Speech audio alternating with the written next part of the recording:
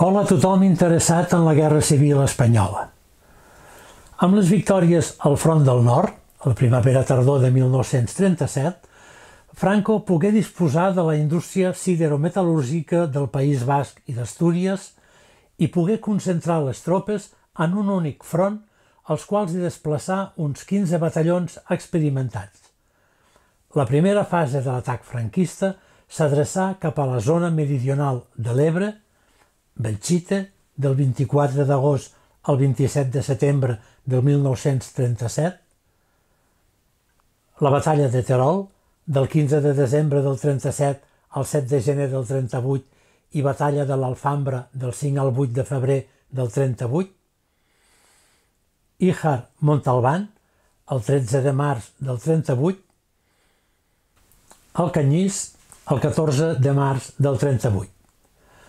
La segona fase, iniciada el 22 de març, esberlar les línies defensives de fortificacions i trinxeres republicanes del front d'Aragó i penetrar ràpidament a la rereguarda republicana, provocant la retirada, la pèrdua de material i la desorganització de moltes de les unitats de primera línia. Com estaven distribuïdes les tropes franquistes? A la meitat nord de l'Ebre. El cos d'exèrcit de Navarra, dirigit pel general Sonchaga, que avançà entre Osca i Barbastre i progressà cap a la conca de Trem. El cos d'exèrcit d'Aragó, dirigit pel general Moscardó, que actuà entre Sarinyena i Albalat de Cinca i progressà cap a Balaguer, Artesa de Segre i Pons. El cos d'exèrcit marroquí, comandat pel general Iagüe, que atacà Bujaraloz en direcció Fraga i progressà cap a Lleida i va enviar efectius cap a Casp. I a la meitat sud de l'Ebre, l'agrupació García Baliño, que progressà per Casp en direcció a Gandesa fins a Mora d'Ebre, el cos de tropes voluntàries, dirigit pel general Berti, que des de Guadalop avançà pel Matarranya cap al mar direcció Alcanyís, Gandesa i Tortosa, el cos d'exèrcit de Galícia, dirigit pel general Antonio Aranda Mata, ocupà Montalbán, Alcorissa i Morella. El 15 d'abril arribà a Vinaròs, amb la qual cosa ascendí Catalunya de la resta del territori republicà. I el cos d'exèrcit de Castella, a la rereguarda del Baix Aragó, posar les bases de l'abans cap a Castelló de la Plana. L'objectiu era vèncer les posicions compreses entre l'Ebre i el Cinca, fins a assolir el Segre i establir una línia entre Mequinensa, Lleida, Balaguer, Artesa de Segre i Pons. Aïllada Catalunya de la zona centre i de València, el futur del règim republicà quedaria compromès, ja que l'eventual ocupació de Catalunya hauria suposat la pèrdua de la frontera francesa, única via d'entrada d'armament. I la partició territorial obligaria el govern republicà a redoblar la coordinació del seu estat major central. Al mes de març de 1938, l'exèrcit franquista es dirigia cap a la frontera de Catalunya. En sis dies, els franquistes es van desplegar al llarg de quasi 5.000 quilòmetres quadrats i van trencar tres línies defensives successives, les conques dels rius Aigua Vives, Martín i Guadalope. Únicament les brigades internacionals resistien eventualment l'avanç de les tropes franquistes.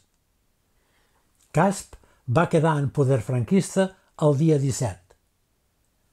El dia 22 passen el riu Ebre pel meandre de Belloque i ocupen els pobles de Pina i Gelsa. El dia 25 s'ocupa Bujaraloz i el 26 cauen Vallfarta, Penyalba i Candasnos. El dia 27 les tropes de Franco entren per primer cop a Catalunya. Després de consolidar el cap de Pont de Fraga, forcen la línia del Cinca i ocupen Torrent de Cinca, Belilla de Cinca i Fraga, a l'Aragó, i Massalcoreig, ja a Catalunya. El diumenge 27 de març cap a les 15 hores, una formació d'uns 30 avions bombarders bimotors llencen sobre Alcarràs una pluja de bombes. Als 20 o 30 minuts d'aquesta passada, una segona formació repeteix el bombardeig. Al llarg de la tarda d'aquest dia, els avions tornaran dues vegades més. El poble queda pràcticament enrunat en més d'un 70%. I el poble va ser ocupat el dia 30. La tretzena divisió, superat el Carràs, va continuar endavant i començava la batalla de Lleida. El mateix dia 27 de març, a les 17 hores, quatre esquadres de Heinkel G51, 12 aparells en total, procedents del camp de Sarinyena, bombardegen la ciutat de Lleida i també l'aeròdrom d'Alfés. Al llarg de la tarda faran tres passades més que afectaran la totalitat de l'àrea urbana. Tres camions carregats de ferits evacuats de l'Hospital de Santa Maria van ser metrallats a la Rambla d'Aragó i van morir molts dels seus ocupants. A Lleida es va organitzar una defensa per la 46a divisió de Valentín González, el campesino, però la ciutat va caure finalment el 3 d'abril. Les baixes estimades en els bombardeigs són unes 400. Moltes van quedar sota les runes fins als anys 39 i 40, quan, en anar retornant el veïnat a la població, es procedia a desenrunar totes les cases enfonsades. A partir del dia 4 d'abril, la majoria de les cases, indústries i obradors de la ciutat van ser saquejats. Amb la permissivitat de les noves autoritats, a Lleida acudien gent de l'anomenada Zona Nacional a recollir botí. Fins i tot van venir amb camions. A partir del mes de novembre funcionarà l'oficina de bienes abandonados per organitzar el lloguer de pisos i cases de persones no afectes al règim. Per tot arreu, fins i tot a les runes, apareixen cartells d'incautado. Una de les primeres mesures de Franco en arribar a Catalunya al seu exèrcit va ser derogar l'Estatut d'Autonomia, el 8 d'abril, i en paraules seves, en mala hora concedido, d'acord amb el Principio de Unitat de la Pàtria. Els valors tradicionals, com la religiositat i la disciplina, s'imposen de nou, així com la prohibició de fer servir altra llengua que no sigui el castellà. Pels carrers es col·loquen cartells amb el lema «Si eres espanyol, habla en espanyol». Com a resultat de la caiguda de Lleida, primera localitat catalana important presa per les tropes feixistes i l'única capital catalana ocupada després d'una batalla, Juan Negrín va llançar una nova consigna. Resistir és vèncer. El 28 de març, les tropes rebels ocupen Mequinensa i amplien els caps de pont del riu Cinca. L'avenç dels revoltats es va veure contingut pràcticament i a partir de llavors tots els seus intents de creuar el riu es veurien entorpits excepte a Lleida i Serós, ocupat el dia 29 per la cinquena divisió de Navarra després de vèncer resistències esporàdiques, establint un petit cap de pont al marge esquerre del riu Segre. Després de la caiguda de Lleida, l'exèrcit republicà es retirà en direcció a Balaguer perseguit per les tropes franquistes que no van trobar resistència. Més al nord, els franquistes van continuar el seu avenç. Les tropes insurrectes travessaren la Noguera Ribagorsana i avançaren ràpidament cap a la Noguera Pallaresa, que també travessaren sense gaires dificultats, apropiant-se de les centrals elèctriques ja existents a la zona i de les poblacions de Trem, Talard, Salàs de Pallars i la Pobla de Segur. L'única vila important que no caigué en mans dels sediciosos fou Isona, que va quedar pro pràcticament a la línia de front.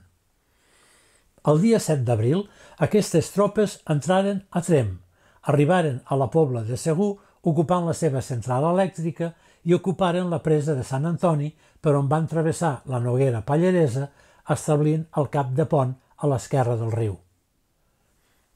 A Montgai, Camarasa i Trem hi havia instal·lacions hidroelèctriques que proporcionaven l'electricitat a Barcelona i tot el seu entramat industrial, vital per a la guerra. Això va constituir un gran cop per als republicans perquè els va privar de la seva font d'energia principal i, en conseqüència, els va obligar a recórrer als vells forns de principis de segle. Els talls d'electricitat i una activitat industrial irregular es van fer habituals. Els dies següents, els exèrcits insurrectes ocuparen la resta de la riba dreta de la Noguera Pallaresa fins al pas dels Terradets. El dia 9 d'abril, des del cap de pont de la presa de Sant Antoni, avançaren a ocupar Vila Mitjana, Soterranya, Figuerola d'Orcau, Arancis i Sant Cerni. L'ofensiva continuà i el 10 foren presos els pobles d'Orcau, Bastús, Sant Salvador de Toló, Sant Miquel de la Vall, Sant Martí de Barcedana i les muntanyes de Sant Corneli, la Serra de la Campaneta i el Mont de Conques. Pocs dies més tard van arribar a Sort, Llavorsí i Esterri.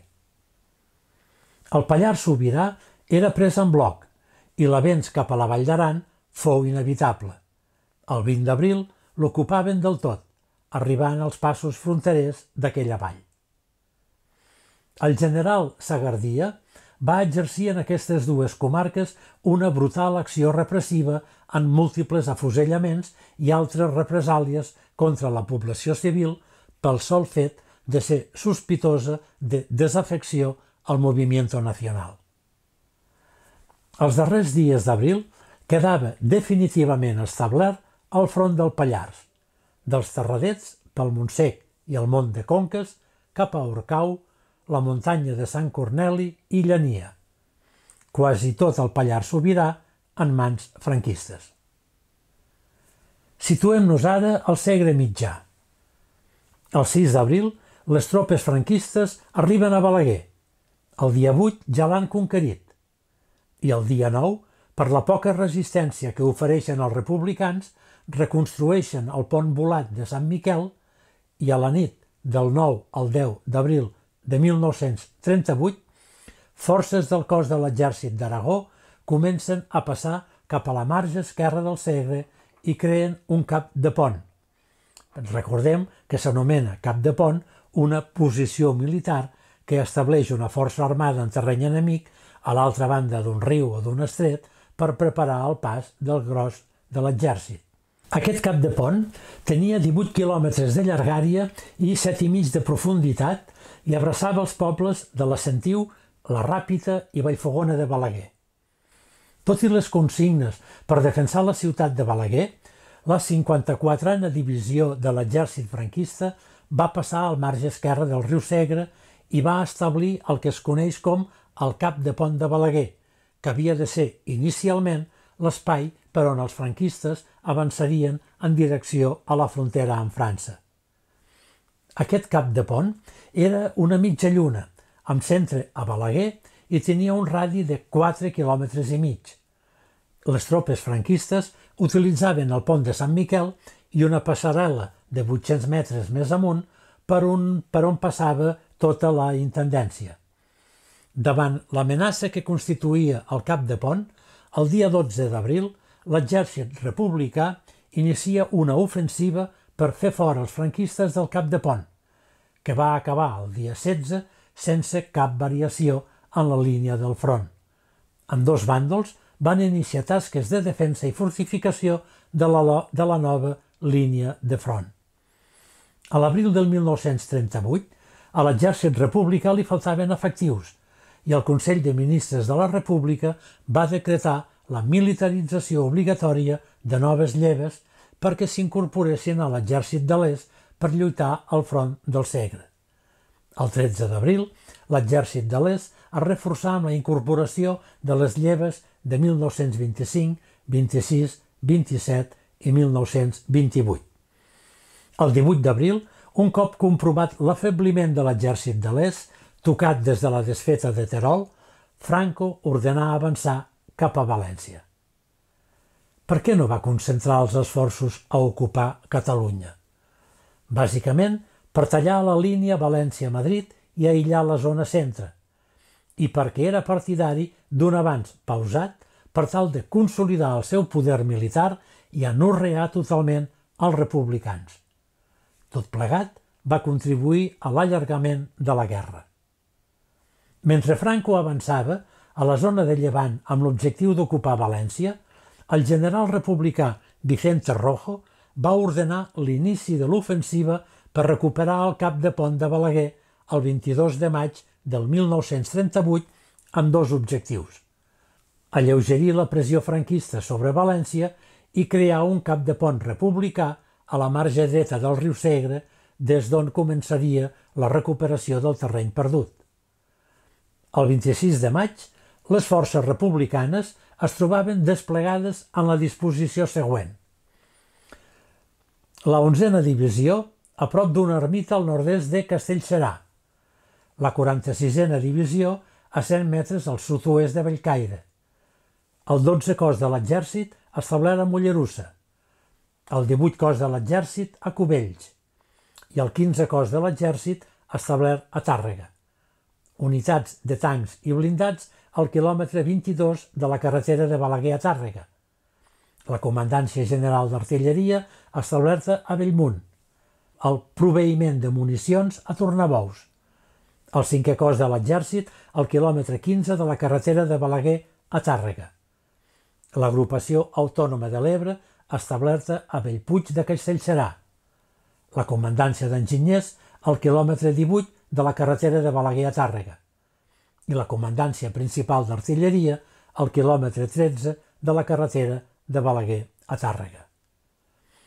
Els atacs republicans foren de gran intensitat a Vallfogona de Balaguer, l'ermita del Pedrís, lo Morinyol, la Sentiu de Sió i contra el cap de pont que els franquistes havien establert a la baronia sobre el curs del Noguera Pallaresa i contra el cap de pont de Balaguer, sobre el Segre, que era el punt més amenaçador sobre Catalunya. Es calcula que entre abril i desembre del 1938 hi moriren unes 1.000 persones, la majoria del bàndol republicà. En l'estratègia davant republicà hi havia l'objectiu de conquerir la cota 306, el Tossal de Déu, el merengue.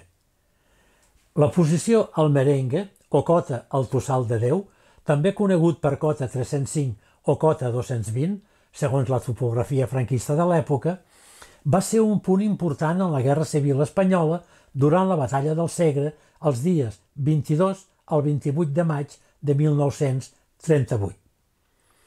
El nom del merengue li ve d'una arenga que el capità republicà Cabrera va fer als seus soldats abans de l'atac. Esto nos lo vamos a comer como un merengue. El pronòstic del capità va ser totalment erroni i el merengue es va convertir en un infern.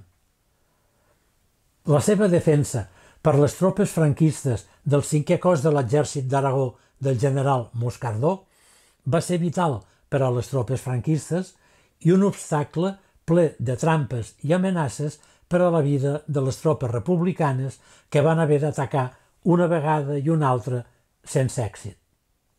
El merengue és un petit turó que es troba al costat de la carretera de Balaguer a Camarasa, al nord del cap de pont de Balaguer, i va ser un dels escenaris de durs enfrontaments entre els dos bàndols durant la batalla del Segre, batalla que va tenir lloc en una franja entre la desembocadura del riu Segre a Mequinensa fins als Pirineus entre l'abril de 1938 i el gener de 1939.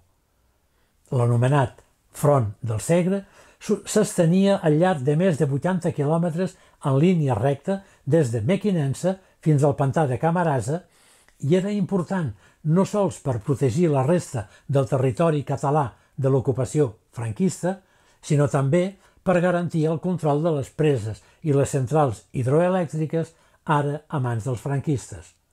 Per a l'estat major del grup d'exèrcits de la regió oriental de l'Exèrcit Popular de la República, el cap de pont de Balaguer constituïa una amenaça permanent per la qual cosa el general Vicente Rojo n'ordenà l'eliminació a l'agrupació autònoma de l'Ebre sota el comandament de Juan Modesto Guilloto León, conegut per Modesto, ja que era a la qual li corresponia el sector. Per a l'ofensiva que es projectà, es disposà del 18è cos d'exèrcit comandat per José del Barrio, compost per les divisions 27a, 60a i 72a. A la 27a divisió li correspongué el sector nord, el centre de la resistència del qual era la cota 306, el merengue, un turó de forma cònica que destacava en una planúria al nord de la carretera que condueix a Camarasa, que era un objectiu bàsic. Pel domini, com hem dit, de les centrals hidroelèctriques de Camarasa i Montgai i també perquè a partir d'allí el camí cap a Barcelona era força planer. Aquesta posició estava defensada pel batalló de tiradors d'Ifni número 283, dirigit pel comandant Eugenio Bonelli Rubio, unitat que pertanyia a la divisió 54ena, comandada pel general Ricardo Marzo Pellicer i una de les brigades pel tinent coronel Juan Fernández Aceituno Montero. Al llarg dels dos mesos transcorreguts s'havia pogut fortificar establint-se sobre les runes d'un vell castell i s'havia dotat de sis nius de metralladores, dels quals quatre defensaven el vessant més accessible que donava a la vall de Camarasa, mentre que els altres dos ho feien al més abrupte del barranc de Salat. Al vessant de la vall de Camarasa, unes petites terrasses en les quals es conreaven ametllers el feien més accessible per a un assalt. La línia de trinxeres estava defensada per una sèrie triple de xarxes de filferro. Al cim s'hi havien excavat quatre refugis units entre si per galeries i aquests refugis servien per aixoplugar-se del foc d'artilleria i de les inclemències del temps. Del cim sortien dos camins d'evacuació cap al mas del quadre que servia de lloc de comandament i de socors i que resultà completament destruït en el transcurs dels combats. La posició del merengue defensava una direcció d'atac veritablement sensible, ja que en el cas de poder vencer-ne la resistència es podia obrir un camí per estrangular el cap de pont. De la nit del 22 al 23 fins al dia 27 de maig de 1938 els republicans van començar una seqüència de combats per recuperar la posició dels insurrectes. Al principi de la batalla van utilitzar tancs soviètics per acompanyar les tropes i envoltar la posició. L'ofensiva començà el 22 de maig de 1938 a les 4 de la matinada amb una forta preparació artillera. El mateix Juan Modesto Guilloto, cap de l'agrupació autònoma de l'Ebre, diu, en referència a això, al seu llibre Soy del quinto regimiento, me acerqué al puesto de mando de la masa artillera que dirigía personalmente el coronel José Luis Fuentes y observé con sus aparatos el panorama. La preparación artillera era francamente buena. Los transportes de fuego eran como debían ser. Contava per a això amb un desplegament d'artilleria de 18 bateries amb 53 peces. Per la seva banda, els defensors hi oposaven una força de foc de 10 bateries i un antitancs. Al sector del merengue hi inicià l'atac al 486è batalló de la 112a Brigada Mixta de la 27a Divisió, l'antiga Karl Marx, encara que el ritme de la guerra havia desgastat les files de la columna, havent-se cobert les baixes amb reclutes de la lleva del 1941, coneguda també com la lleva del biberó. Per a aquests inexperts combatents de 17 anys, l'operació significava el seu bateig de foc. Aquesta brigada estava dirigida pel major de milícies Manuel Pérez Cortés. A finals de maig s'havia cridat les lleves del 1919, 1922, 23 i 24 amb soldats de menys de 20 anys i de més de 30 i fins a 40 anys, els quals, a més de la inexperiència, eren reticents amb els comandaments comunistes. Una d'elles, la lleva del biberó que hem citat. L'exèrcit popular va incorporar uns 27.000 nois de la lleva del biberó que durant 20 dies van rebre instrucció militar i després van ser enviats a primera línia de foc. L'acció suposà un enorme desgast per a la unitat, per la qual cosa, en arribar la nit, hagué de ser rellevada pel 485è batalló de la mateixa 122 Brigada Mixta. Aquesta circumstància, que provocà l'aixecament total al qual s'havia sotmès al merengue, permeté al tinent coronel Fernández Aceituno, cap nacional del sector, reforçar la guarnició amb una companyia del 287è batalló del regiment Canàries, número 39, que constituïa la reserva del sector. El dilluns dia 23 continuaren els atacs a càrrec del 485è batalló, la segona companyia del qual ha aconseguit trepitjar les línies dels rebels encara que hagués de desistir i retirar-se en no trobar recolzament en la resta de companyies que participaven en l'assalt. Cap a migdia, la posició quedà novament envoltada gràcies en especial a l'acció dels tancs republicans, però l'enèrgica defensa dels nacionals, ajudada per l'acurada punteria de l'artilleria, obligà les forces assaltants a replegar-se cap a les seves línies. El dia 24 es reiniciaren els atacs amb la participació de nou d'unitats blindades que envoltaren per tercer cop el merengue, però els atacants foren rebutjats abans que la infanteria trepitgés les primeres línies. A causa de les baixes, que havien estat elevadíssimes en ambdós bàndols i que estaven unides a la natural fatiga dels combatents, el comandament nacional considerà necessari procedir al relleu de les forces de la 54 Divisió per les de la 53 del mateix cos de l'exèrcit d'Aragó. Comandava aquesta divisió el general Álvaro Sueiro Villarino i n'era el cap de l'estat major el comandant Mariano Bernardo Benedet.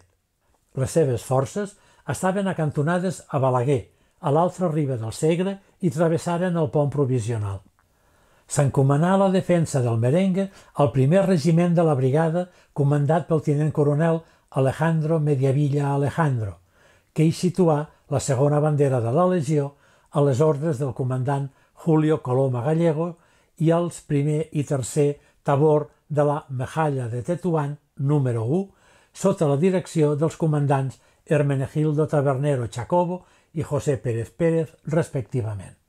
Com a reserva, es posicionà al mas del quadre el sisè batalló del regiment d'Aragó, del qual n'era cap el comandant Benito Sánchez Blázquez.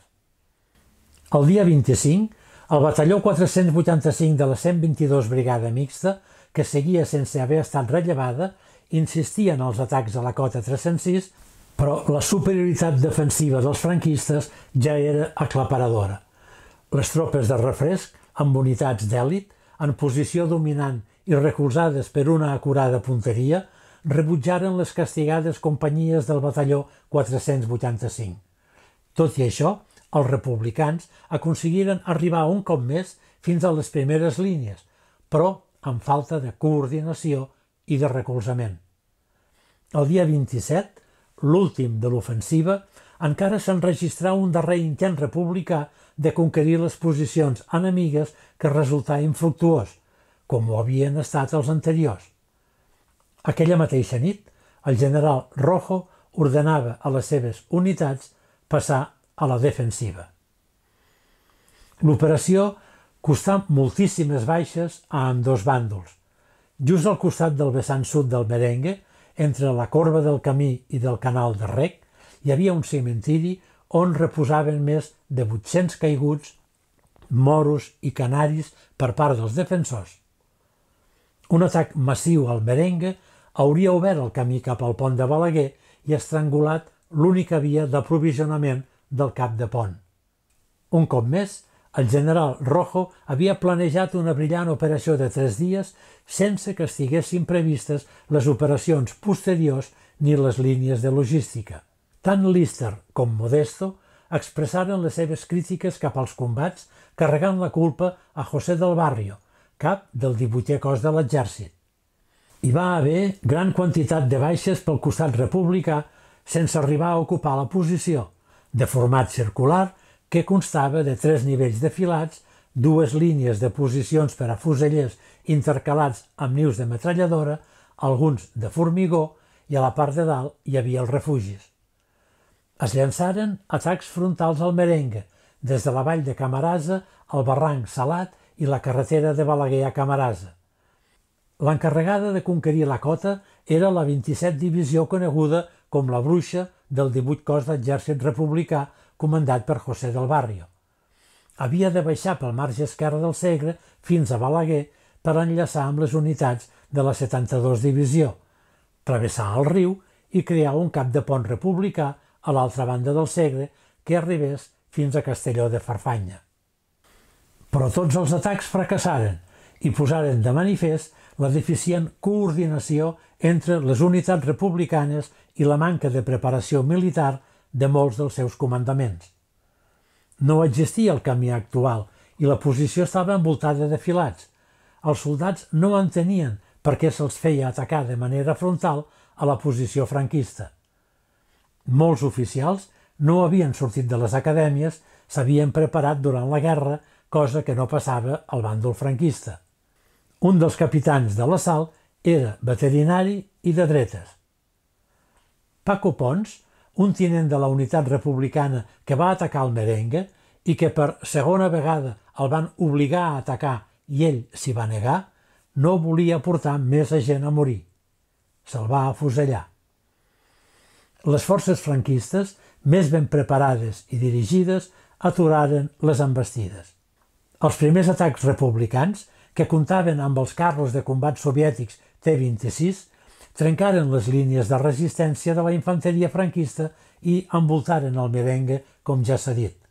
Però la bona utilització de les unitats de reserva per part dels defensors de la posició feren impossible ocupar-la. Les operacions militars es tancaren amb un tràgic balanç en pèrdues de vides humanes. Van ser set dies de ferotge lluita amb moltes baixes per tots els bàndols. Molts dels caiguts republicans eren de la Quinta del Biberó, combatents d'edat compresa entre 17 i 18 anys que havien estat allistats només dos mesos abans de l'ofensiva. L'escassa preparació militar sumada a la manca d'experiència, els van fer ferms candidats a una mort segura. Sortien sense fusell a lluitar. Quan el company moria, deixava el fusell i l'havia d'agafar el qui no en tenia. Es van arribar a comptabilitzar 300 baixes algun dels dies de l'enfrontament i més de 800 en total. La majoria dels caiguts en combat van ser enterrats allà mateix en una gran fossa. A pesar de la gran quantitat de baixes ofertes pels republicans, aquests varen continuar l'ofensiva fins al dia 29 de maig, en què finalitzà amb l'ocupació de tres espais sense cap valor estratègic. L'ofensiva republicana va ser un total fracàs, no aconseguint cap dels objectius proposats i el front quedà estabilitzat durant set mesos fins a finals de desembre, per això es varen construir multitud de trinxeres i búnkers. Als voltants de Foradada hi ha, per exemple, uns quants búnkers per protegir els encreuaments de carreteres. La fossa del Merengue és una fossa de soldats republicans que van morir. El 1987, les restes dels caiguts al Merengue van ser exhumades i dipositades al cementiri de Camarasa, les restes són dels dos bàndols. A recordar també els combats del dia 27 de maig a la zona del Tossal de les Forques i la Serra Gran, la cota 292, defensades per la 54 Divisió de l'exèrcit franquista. La forma de construcció de la posició va ser feta amb sacs terrers plens de ciment, grava i altres materials que, en llançar-hi aigua, va quedar solidificat i encara avui dia es veuen les marques de sacs a l'encofrat de la trinxera. Davant la cota 292, els rebels tenien una posició avançada a la casa París, que va ser atacada des de primera hora del matí per unitats d'infanteria republicana de les 27 i 60 divisions, fins que a la una del migdia els franquistes, davant la impossibilitat de rebre reforços, es van retirar de la posició. El combat va acabar amb un balanç de 5 oficials, dos suboficials i 55 soldats franquistes morts. Pel que fa a l'exèrcit republicà, el recompte dels franquistes parla de la mort d'un comandant, un tinent rus de l'estat major i 203 soldats. Després de les batalles del Segre, l'exèrcit republicà a Catalunya es va organitzar per planificar l'ofensiva de la batalla de l'Ebre. Recordem ara les dades. La bossa de Bielsa del 14 d'abril al 16 de juny de 1938. La batalla del Segre té lloc entre l'abril de 1938 i el gener de 1939. El merengue entre el 22 i el 28 de maig i la batalla de l'Ebre entre el 25 de juliol i el 16 de novembre de 1938. L'ofensiva franquista en el front del Segre es reprèn el dia 24 de desembre trencant la línia de defensa republicana des del Merengue en direcció a Cubells, per avançar posteriorment cap a l'interior de Catalunya i ocupar-la en la seva totalitat. L'ofensiva va començar pel nord i pel sud, des del cap de pont de la baronia Trem i des del cap de pont de Serós, respectivament. El dia 28, unes quantes unitats franquistes al nord del cap de pont de Balaguer varen iniciar el seu avanç cap a l'interior de Catalunya i la totalitat de forces establertes al cap de pont de Balaguer ho varen fer el dia 7 de gener de 1939. Al desembre de 1938, la distribució de les forces dels dos exèrcits al front de Catalunya era la següent. L'exèrcit franquista, anomenat del nord, era manat pel general Fidel Dávila. El formaven sis cossos d'exèrcit i dues divisions a la reserva. La distribució des del Pirineu fins a la desembocadura de l'Ebre era la següent. El cos d'exèrcit d'Urgell, manat pel general Agustín Muñoz Grande, amb les divisions 61, 62, 63 i 150 al sector de la Serra del Montsec. El cos d'exèrcit del Maestrat, manat pel general Rafael García Baliño, amb les divisions 1, 82 i 84 al sector de la Serra de Sant Mamet. El cos de l'exèrcit d'Aragó, manat pel general José Moscardó, amb les divisions 51, 53 i 54 al sector de Balaguer. El cos de tropes voluntàries amb 30.000 italians manat pel general Gastone Gambara amb les divisions Litorio, fletxes negres, fletxes blaves i fletxes verdes al sector de Serós. El cos d'exèrcit de Navarra, manat pel general José Solchaga, amb les divisions 4, 5 i 12, també al sector de Serós. I el cos d'exèrcit marroquí, manat pel general Juan Iagüe, amb les divisions 13, 50 i 105, situades des de la Ribera d'Ebre fins al Montsià. Totes aquestes divisions tenien entre 260.000 i 320.000 soldats. El seu armament consistia en 3.793 fusells metralladors, 2.527 metralladores, 580 morters pesats, 1.285 lleugers, 1.086 peces d'artilleria, 200 a 300 tancs i un nombre d'avions eh, comprès entre 500 i 600.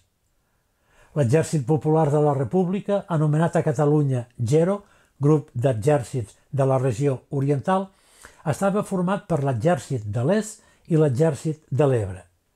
Dirigia l'exèrcit de l'Est el coronel Juan Perea Capulino, amb el desè cos d'exèrcit manat pel tinent coronel Gregorio Jové, amb les divisions 30, 31 i 34 situat a la reserva. L'11è cos d'exèrcit, comandat pel tinent coronel Francisco Galán, amb les divisions 26, 32 i 55 situats al sector de la Noguera Pallaresa, i el 18 cos d'exèrcit, manat pel tinent coronel José del Barrio, amb les divisions 27, 60 i 72 situat al sector de Balaguer. L'exèrcit de l'Ebre el dirigia el coronel Juan Modesto, amb el 12 cos d'exèrcit manat pel tinent coronel Etelvino Vega, amb les divisions 16, 44 i 56 al sector Lleida-Serós. El cinquè cos d'exèrcit, manat pel tinent coronel Enrique Lister amb les divisions 45, 11 i 46 a la reserva. El 15 cos d'exèrcit, manat pel tinent coronel Manuel Tagüenya, amb les divisions 3, 35 i 42 a la reserva. I el 24 cos d'exèrcit, manat pel tinent coronel de carabiners Mariano Buixó, amb les divisions 43 i 24 situades a l'Ebre. En total, i segons el general Rojo, l'exèrcit republicà disposava de 220.000 homes, dels quals solament 140.000 corresponien a les brigades mixtes. En armament, reunia 250 peces d'artilleria, més 46 la defensa especial contra aeronaus, 40 tancs i 80 de blindats, 80 avions de caça i 26 aparells de bombardeig. Si aquestes xifres d'armament són molt més baixes que les de l'exèrcit franquista, encara hi havia molta més diferència amb l'arma més decisiva que era l'aviació. Segons l'historiador italià Ferdinando Pedriali, el 23 de desembre l'aviació legionària reunia 136 avions i l'aviació a les Balears 42. La Legió Còndor tenia 84 avions en el front de Catalunya i l'aviació nacionalista de Franco 145. L'aviació republicana només tenia 144 avions, amb la qual cosa la proporció era gairebé de 3 a 1. Els aparells de caça eren, segons Pedriali, 110 contra 159, encara que això només permetia una discreta capacitat defensiva. Jesús Salas Larrazábal dona unes xifres semblants. 127 avions per les brigades aèries nacionals, 136 per l'aviació legionària i 91 per la Legió Còndor. En total, 354 avions sense comptar l'aviació de les Balears.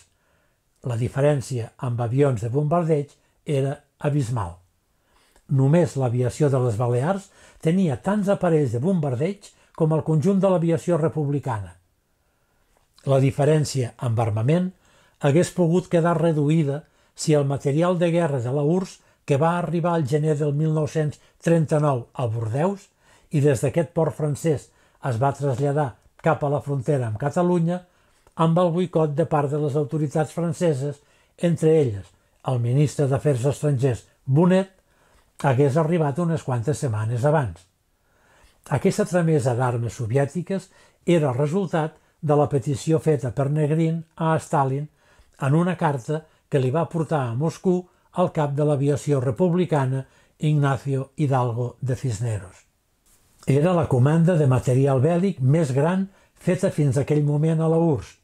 250 avions, 250 tancs, 650 peces d'artilleria i 4.000 metralladores.